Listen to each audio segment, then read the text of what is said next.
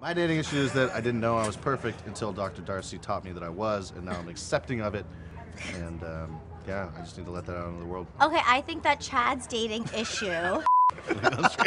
is that I think that he does he it's hard for him to find a girl that kind of keeps his interest, but then he keeps kind of dating the same type of girl, so obviously it's kind of just, you know, it's just gonna just keep on not working. Yeah. I think Dor- Dorothy's dating issues that she doesn't trust anybody, and I think that she's very closed off, and she has to start letting new people into her life as opposed to just keeping the same people around her.